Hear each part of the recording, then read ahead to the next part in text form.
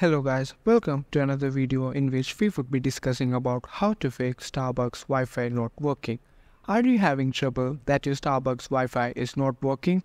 Don't worry, in this video we'll help you find a solution for it. Just follow these easy steps. 1. Turn off the Wi-Fi and turn back on. Do this multiple times. Most of the time, doing this multiple times will trigger the Wi-Fi to reconnect forcefully. 2. Check for a Wi-Fi login page or portal.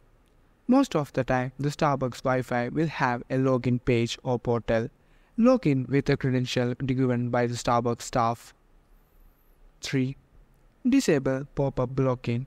If you are using browser, disable pop-up blocking in your browser settings as it may be preventing the login prompt page from showing up. 4. Restart your device. Most of the time, a simple restart will help you fix this issue.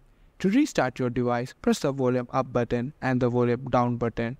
Press the side button until you see the Apple logo appear. 5. If you have access to the router, try restarting it. This can help you reset the connection and potentially resolve any issues preventing the login page from appearing. 6.